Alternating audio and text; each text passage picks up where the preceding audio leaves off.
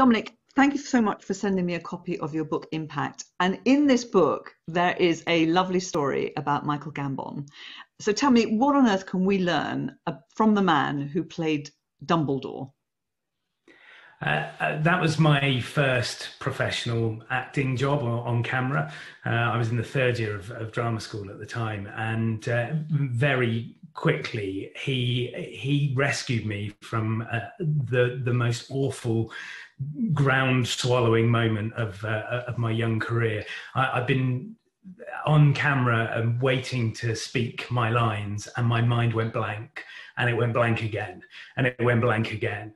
Uh, and all of a sudden, he was playing my granddad, and he just stood up and he started to clap and laugh his head off, and he was going, "Bravo, bravo!" And I was kind of like, "What?"